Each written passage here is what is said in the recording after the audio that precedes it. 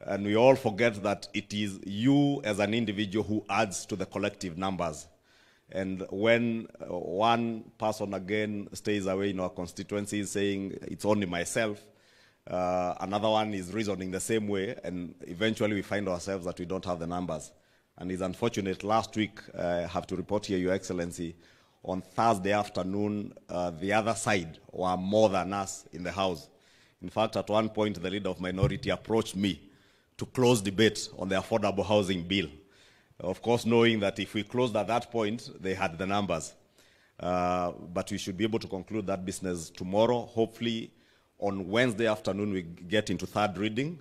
Again, during third reading, we will be asking all of you to be present so that we're able to conclude with that debate and be able to uh, uh, process the bill forward to the Senate so that they're able to advertise it uh, by Friday, do their public participation, and we get a new affordable housing bill uh, before the next payroll. Uh, and uh, usually, many corporations, both private and public, pay, uh, process their payrolls after the 15th of the month. So we hope by the 15th of March, Your Excellency, you will have processed the, you will have assented to the new affordable housing bill.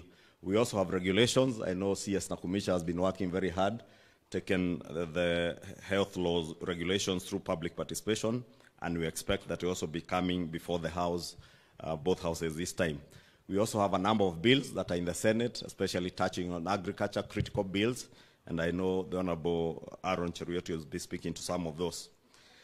Your Excellency, in conclusion, let me take this opportunity to also thank members of our cabinet who have been very diligent. I know there are many cabinet secretaries who have not had time to come before the House with the amended standing orders to answer to questions and statements.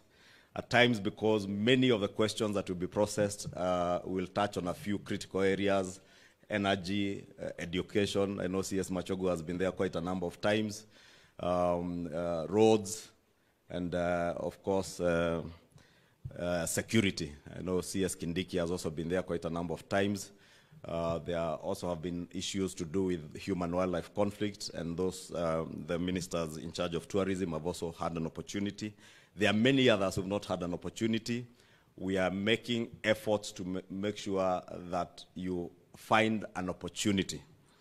I will not encourage you to go the Margaret Thatcher uh, regime way, where there was uh, a scandal that was called Cash for Questions, where cabinet secretaries would pay members of uh, the House of Representatives to ask questions uh, so that you may be able to come and answer them. But we, in the leadership, will make sure that whenever there is a question that touches on any of your departments for those cabinet secretaries who have not had the opportunity to appear before the House, to be able to prioritize those particular uh, ministries to come before the House. Lastly, is to request our cabinet secretaries every time you find an opportunity to come and answer to a question or to a statement uh, requested by a member of parliament, please take that time as also an opportunity to espouse on government policy. And uh, maybe, for instance, uh, I, know, uh, I don't know, C.S. Owalo has not been there, for instance.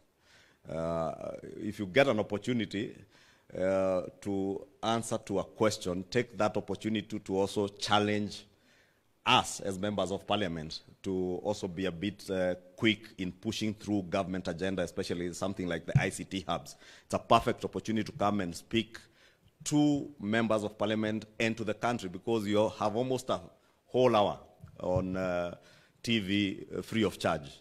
So it's a very good opportunity to also use that to espouse on government policy and push our agenda and market our agenda to the people of Kenya. Uh, and I hope many of you who have that opportunity this year will make use of uh, that time in the House. It doesn't harm to talk to us, uh, to generate questions uh, on your behalf. If there's something that you want to come and speak to, uh, if there's something on mining, and CS Mvurya, you have not seen anybody asking a question, if you talk to me, I can get a member of parliament to generate a question that will offer you an opportunity to come and espouse on what you want to do on the agenda of mining. Si swali ni swali, na kwenye inatoka sio hoja, bora ni ujumbe ifikie wenye inafaa kufikia. And by speaking to members of parliament from the floor of the house, you will also have an opportunity to speak to the country uh, at a prime time when uh, many Kenyans are watching. And I'm happy uh, cabinet secretaries like uh, the Honorable Kipchumba Murkomen has uh, done very well in taking advantage of even very difficult questions. I remember when there was a question on the allocation of resources to roads, and CS Murkomen was able to turn around the question and put it back to Parliament itself. And uh, I remember when he left the House, uh, those of us who are members of the Budget Committee and uh, the Roads Committee were pleading with Honorable Murkomen to, please not appear back in the House. On the Kamukunji, he promised that he would even want an opportunity to have a Kamukunji with members of Parliament. So I want to encourage other cabinet secretaries, please take time, uh, CS uh, Florence, um, on the uh, jobs uh, uh, in the diaspora and uh, uh, other opportunities, CS Owalo on the online jobs uh, through the ICT hubs, to use the floor of the House to be able to market what we are doing as a government. Your Excellency, I know there are also some touchy issues that you'll be speaking to, issues that touch on um, our conduct also as members of parliament, our participation in the House, how as members of parliament who are on the government side ought to carry ourselves on in the House and even outside the House. We've had a number of challenges, a few of them, where, for instance, and this is a best case example, Your Excellency, uh, we have delays in disbursement of NGCDF. Um, and you remember the no, no CDF. It was no CDF, no what? No parliament. uh, and I, Your Excellency, I will often find myself on the receiving end, being the leader of the uh, House and being the person who ought to be representing the cabinet secretary when he's not there. And you can imagine the situation I find myself in when we have our own members who are leading in the process of no CDF, no parliament, and they are behind me. And across on the other side of the floor, there's a whole brigade of our colleagues from the minority side in the same chorus. So we need to socialize ourselves now that uh, there is no other government other than ourselves. On the floor of parliament, there is no government. It is us who are government on the floor of the house. And therefore, even when there's an agenda that um, is not uh, pro-government per se, or where we think government in a way has slackened, uh, uh, possibly, and I gave the case example of NGCDF because it also touches on me. And you see the way I also struggle when I'm speaking to say I don't speak for any cabinet secretary, including Professor Ndungu. I speak as a representative of the people of Kikuyu today on NGCDF. Uh, but we do so with caution so that we also do not in any way incite the House not to carry on with business. A case example, members are signing signatures to impeach a cabinet secretary on account of non-disbursement of NGCDF. And you find a member of Kenya Kwanza signing to impeach a cabinet secretary on non-disbursement of NGCDF. And it is within our right. But I just want to say, Your Excellency and honorable members, it is in our right to oversight these cabinet secretaries, but also to appreciate that all the challenges that we face as a country and as a government, there are no other leaders that we are looking up to to resolve those challenges. We must be part of the solution. And I know we have had challenges with uh, exchequer releases. We have uh, really harassed uh, CS uh, Ndungu and PS Kiptoo on NGCDF.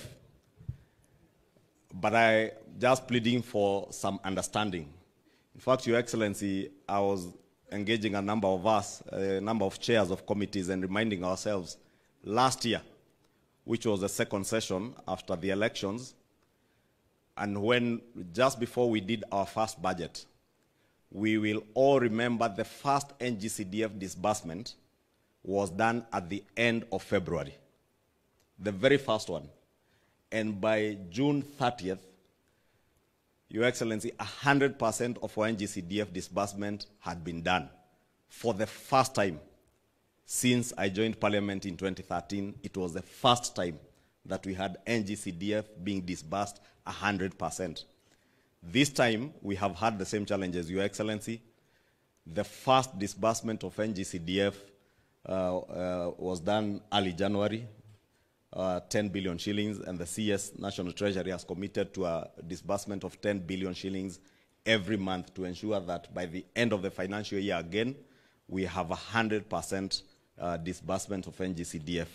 So it is that kind of understanding that I want to plead with all of us uh, because we know the challenges, Your Excellency, you've had with uh, uh, debt repayment. I know uh, there is some very bright light at the end of the tunnel now with uh, opportunities that come with the resolution of the issues to do the, the Eurobond and uh, a lot of uh, receipts coming from our development partners.